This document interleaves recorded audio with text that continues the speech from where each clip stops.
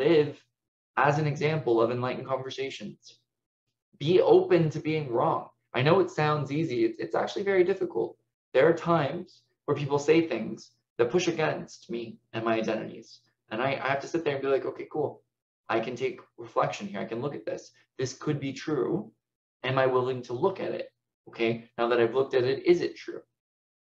Because being in the world is going to cause you to learn things about yourself. There's no way around it.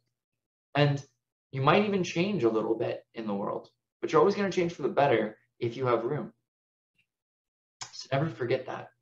As I travel around the world, as you travel around your world and all the other things, understand that that's where true communication and connection comes from coming outside of our comfort zone and learning from that. Because together we, we can do this. We absolutely can.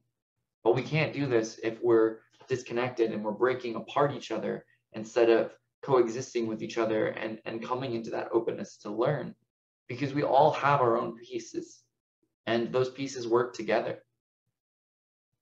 So understand that like the future where we're headed is unity, but not unity in the way that you might think. We're not all going to have the same ideas. And you don't want us to have the same ideas. But we all want to do better. And I think that that's an important step.